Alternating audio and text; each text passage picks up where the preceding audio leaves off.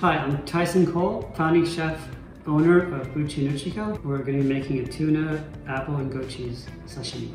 In my last job before Uchi, it was all about taking care of guests. And I made a lot of sashimi. And I really was challenged by our guests to come up with dishes that were sashimi based. And I kept combining the raw fish with different kinds of fat acid, um, oils and vinegars, and different fresh components like different um, kind of kinds of like uh, produce and fruit.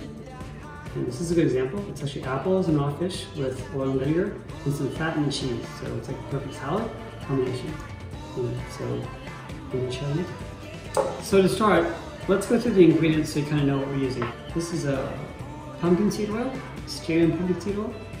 Uh, we started using this when we opened Uchi. I fell in love with it. I love the flavor of it and started eating it together with different salads. And again, this dish came together with this pumpkin seed oil. I was eating apples and pumpkin seed oil at lunch and kind of ate one meal with the tuna together and then add the cheese and that's where this dish started. Second oil is a lemon oil uh, from Central Market. I like the acid, acid flavor from the lemon, the oil too. It's a little bit more depth.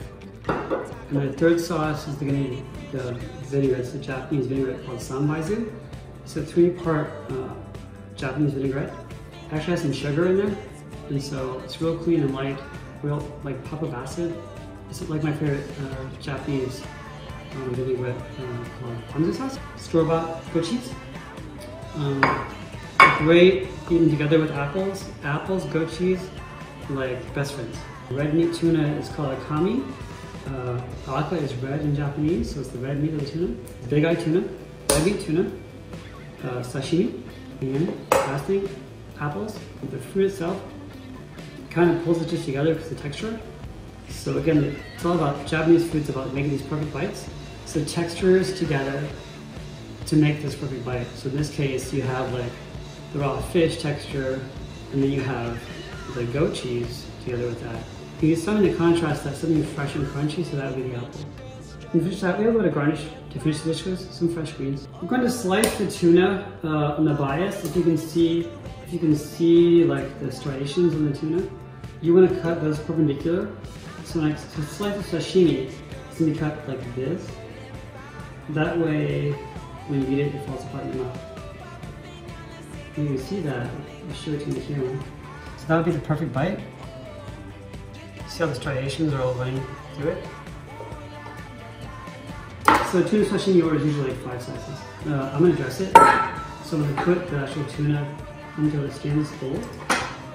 I'm gonna add some of the fat to it to kind of bind with it. A little bit of the olive oil to start in the bowl. A little bit of salt.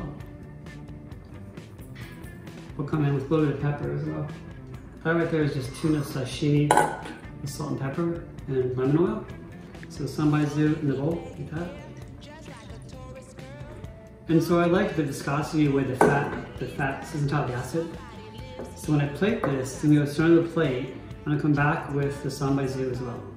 On the plate itself, we're gonna do a little bit of that sanbaizu on the plate. So I'm gonna pick this tuna sashimi up out of the bowl, and put it right in the center of the plate, there. Next thing is the apple.